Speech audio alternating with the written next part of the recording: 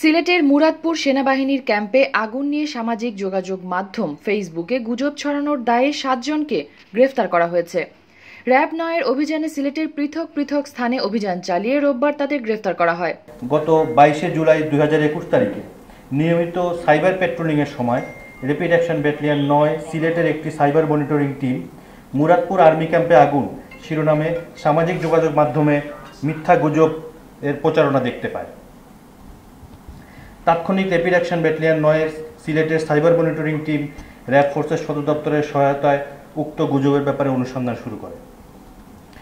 অতি অল্প সময়ের মধ্যেই র্যাপিড অ্যাকশন ব্যাটালিয়ন নয় সিলেটের সাইবার মনিটরিং টিম তথ্য তথ্য উপাত্ত বিশ্লেষণ ও অনুসন্ধান সাপেক্ষে জনমনে ভীতি সঞ্চারের উদ্দেশ্যে সামাজিক যোগাযোগ মাধ্যমে মিথ্যা গুজব রটনায় নিম্নবর্তিত হোতাদের শনাক্ত এবং গ্রেপ্তার করতে সক্ষম হয়েছি। তাদের মধ্যে উল্লেখযোগ্য সিলেট টু লন্ডন পেজের অ্যাডমিন আশফাক ও নাট্যকার আলাল। তারা নগরীর মেন্দিবাগ ও শাহপরান রহমতুল্লাহ আলাইহে থানাদিন পীরের চক এলাকার বাসিন্দা। এছাড়া গোলাপগঞ্জ উপজেলার মজিদপুর গ্রামের রেজা হোসাইন, বুধবাড়ি বাজার ইউনিয়নের আউই বাণীগ্রামের সোহেল আহমদ ও বাগিরঘাট গ্রামের আবুল কাশেম। কুচাই পশ্চিমবাগ গ্রামের রাজন আহমদ শহরতলি এয়ারপোর্ট থানাদিন আটপিয়ারি গ্রামের মুক্তার হোসেন মান্না।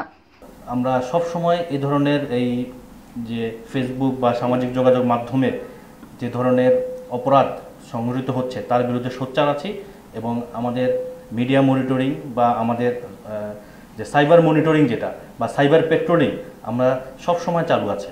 এবং যেখানে আমরা দেখব যে এই ধরনের ব্যত্যয় হচ্ছে বা গুজব, গুজবের সৃষ্টি হচ্ছে বা প্রতারণা হচ্ছে সাইবার মাধ্যমে, আমরা তৎক্ষণিক তার তাদের বিরুদ্ধে ব্যবস্থা গ্রহণ করব। অতি সম্প্রতি মধ্যরাতে সিলেট সেনাবাহিনী সদর দপ্তরে আগুন লাগার এমন সংবাদ সামাজিক যোগাযোগ মাধ্যম ফেসবুকে ছড়ানো হয়।